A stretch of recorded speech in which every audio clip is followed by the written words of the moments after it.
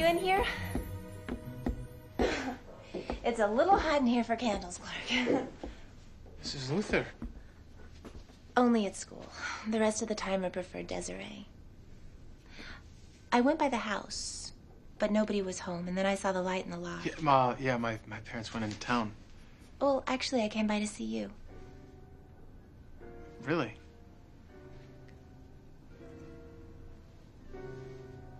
You see, most girls like older men, but not me. I like younger guys. What they lack in experience, they make up for in passion. Is that right? Yeah. I saw you staring at me the other day in class. I'm sorry. I. Uh, No, it's Um. okay. I was actually flattered.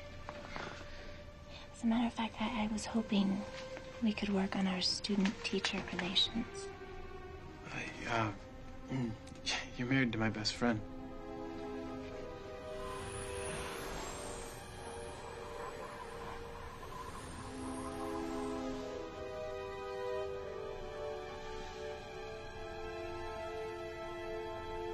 Wait. um,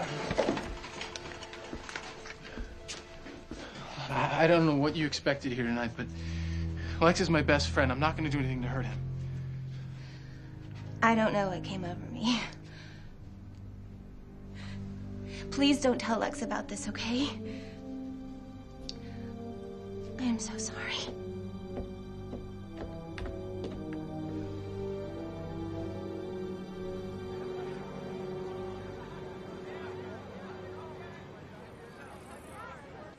Oh, so the new Mrs. Luthor has an alias. That's interesting.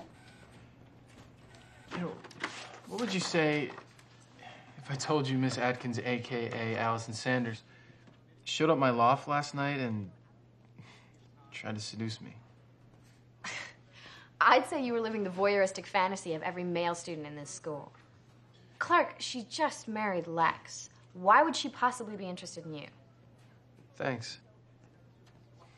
Look, she was dissing Lex, saying he was the only thing standing between her being with me. Okay, you know, this is quickly going from merely nauseating to genuinely disturbing. Chloe, I'm not making this up. She's got some strange hold on Lex. Gee, I wonder what that could be. I'm serious. It's more than the fact that she's hot. Clark, this is Lex Luthor we're talking about. Don't you think he considered all the unfortunate possibilities before saying I do? I don't know, but I'm gonna find out. I'm gonna go talk to him. Will you keep digging? Yeah, sure. Where there's smoke, there's fire. Excuse the aphorism.